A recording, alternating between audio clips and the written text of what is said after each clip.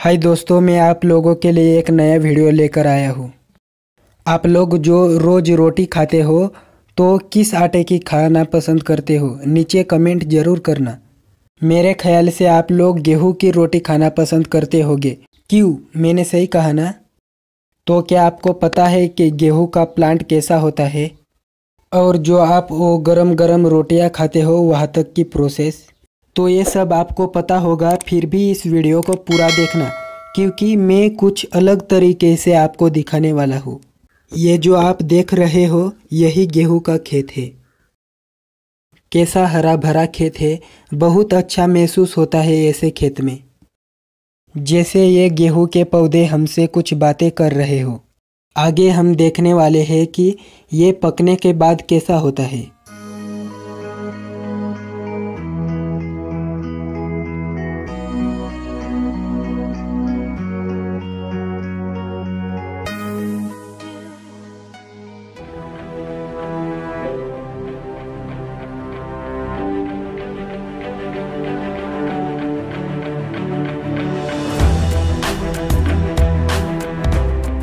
ये देखो, वही गेहूँ है, इसमें अच्छे से दाने हो आए हैं, जैसे कि दिख रहे हैं।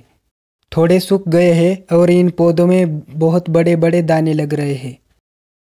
इसके बाद ये थोड़ा और ज़्यादा पक जाता है और फिर इसका पूरा प्लांट सूख जाता है। उनमें दाने पूरी तरह से आ जाते हैं। गेहूँ जब पक जाता है, तब ऐसा दिखता है और यह कटाई के लिए तैयार हो जाता है। कई किसानों के बड़े बड़े खेत होते हैं तो वह ऐसी बड़ी बड़ी मशीनें यूज़ करते हैं।